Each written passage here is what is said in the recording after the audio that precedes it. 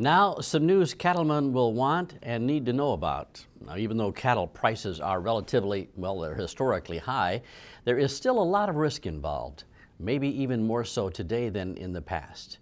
It is a situation that seems to have everybody's attention. So we turn to UGA livestock economist Curt Lacy to see what's being done to help. Though we do have good prices right now, there's a lot of risk in the market.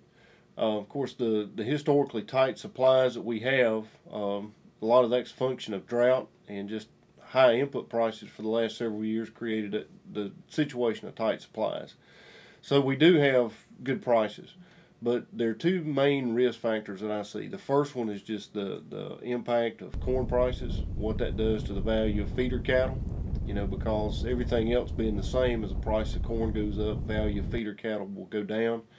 So certainly there's a lot of concern there just because there's there's a good bit of uncertainty about how the corn crop's going to turn out. Probably the the the bigger concern on the price end of things is just what's going to happen in the in the macro economy and the overall scheme of things. The debt crisis in Europe, the financial implications and ramifications are considerable and uncertain as well. But here is some good news. Curt and some of his colleagues in the Southeast recently developed a tool for cattle producers to manage the risk we've been talking about. He explains this tool and who was involved in its creation. The risk management tool that we've developed is a website, and it's called the Southeast Cattle Advisor website. And uh, the web address is www.secattleadvisor.com. It's a collaborative effort between University of Georgia, University of Florida, Auburn University, and Clemson University.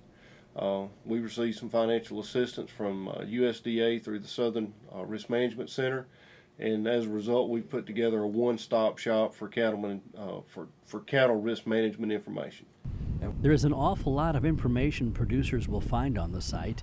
They've tried to make it as simple for cattlemen as they can, and it appears they have succeeded don't generate a lot of new information. We just try to be an information clearinghouse. So what what they uh, what they can reach easily there are uh, local cash prices. Depending on the state they live in, they can access their local cash prices very easily, whether that be a local auction market or the state average auction prices for that week. Uh, they can also get uh, futures prices for feeder cattle, live cattle, corn, soybean, wheat. Uh, they can also locate regional hay feedstuffs and fertilizer prices on that website. And then if they're looking for some decision aids, whether that be for a budget or, or some type, something like a replacement female calculator, as well as a ration evaluator and a, and a multitude of other decision aids and budgets, all of those are available on that website. And then uh, one of the other things that's also included there is access to a lot of the publications and presentations that we've done at various field days, uh, you know, YouTube clips to, to different marketing seminars, presentations, those types of things. All that information is available at that website. The intent is, is that they can get to everything they need to within three or four clicks.